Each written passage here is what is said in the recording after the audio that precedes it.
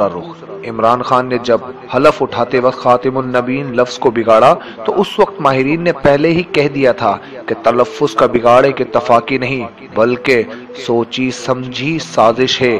مگر اس وقت محبان عمران ایک عجیب سی شخصیت پرستی کا شکار ہو کر اسے محض کے اتفاق کہتے رہے۔ مگر کسی نے بھی اس پر توجہ نہیں کی۔ عمران خان کا ننیال ایک کٹر مربی خاندان سے تعلق رکھتا ہے۔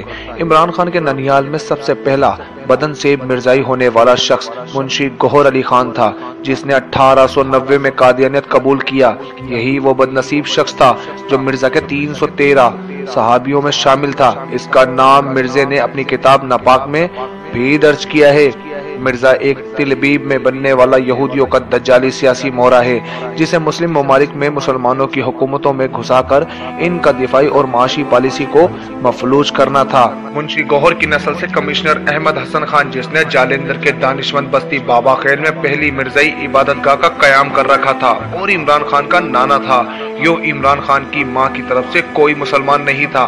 اب دیکھیے فرائیڈے ٹائم کا ایڈیٹر اور عمران خان کا خالزاد بھائی خالد احمد قادیانی، تحریک انصاف کا مرکزی سربراہ شاہد جاوید برکی عمران کا خالزاد بھائی بین الاقوامی لیول کا معاشی ماہر قادیانی، واجد علی برکی تحریک انصاف کا فائننس دیکھنے والا کٹر سیونی مرزائی۔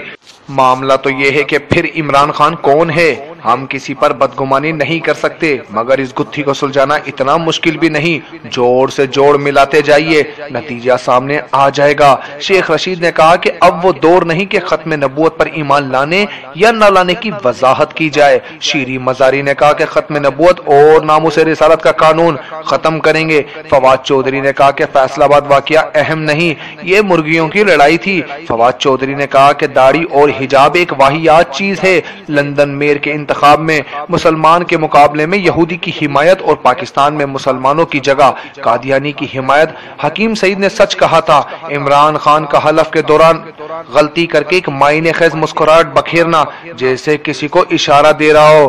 دوسرا، اس کی حکومت آتے ہی قادیانیوں کی حمایتی بیان سامنے آنا اور خوشی سے پھولے نہ سمانا۔ پورے یورپ امریکہ سے مبارکباد کے پیغام موصول ہونا، قادیانیوں کی بدماشی شروع ہو جانا اور فیصلہ آباد پر مسلمانوں پر حملے کر کے انہیں زخمی کر دینا، قادیانیوں کا سوشل میڈیا پر مکمل پھیل جانا اور ان کی حمایت میں بعض M N A, M P A کا ان سے ہمدردی کرنا اور ایک خطرناک سے انہی مرزا اور قوم یہود کی آئی ایم ایف سے تعلق رکھنے والے میاں عاطف کا عمران خان کا مشیر بن جانا۔ کیا یہ ایک اتفاق ہے؟ یا سوچی سمجھی سازش کے تحت ملک کو قوم کے یہود کے پالتو کتے مرزائیوں سیکولر لیبرلز کو دے کر پاکستان پر جنگ مسلط کرنے کی تیاری کی جا رہی ہے؟ یعنی نیو ورلڈ آرڈر کے تحت پاکستان کی اسلامی شناخت ختم کر کے اسے ایک لادین ملک بنانے کی تیاری کی جا رہی ہے۔ ہوشیار رہی ہے اس پورے منظرنامے پر آدھا نہیں، مکمل سوچیے گا۔ اگر آپ کو ہماری ویڈیو پسند آتی ہے تو ہماری ویڈیو کو شیئر ضرور کیجیے گا۔ اور اب تک آپ نے ہمارا چینل سبسکرائب نہیں کیا تو چینل کو سبسکرائب ضرور کیجیے گا۔ السلام علیکم۔